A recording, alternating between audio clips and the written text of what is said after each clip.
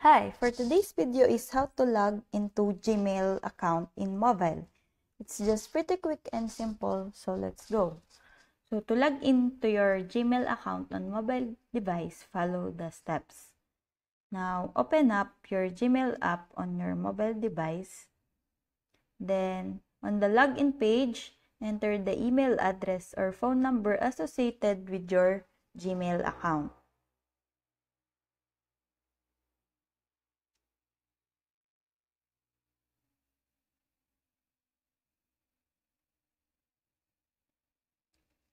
Then tap on next button. Then on the next page, enter your password.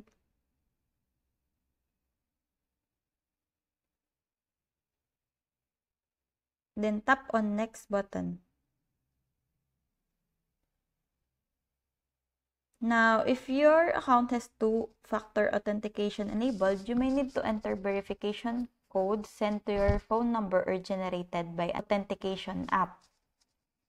Then here, just press agree for the Google Terms of Services.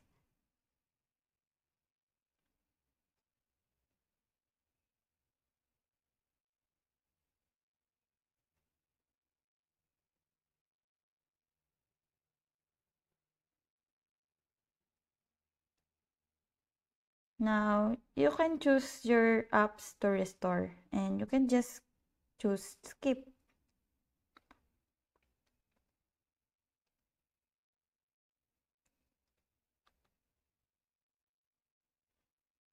So, if you have previously logged into your Gmail account on your mobile device, the Gmail app may remember your login credentials and you will be automatically logged in when you open the app.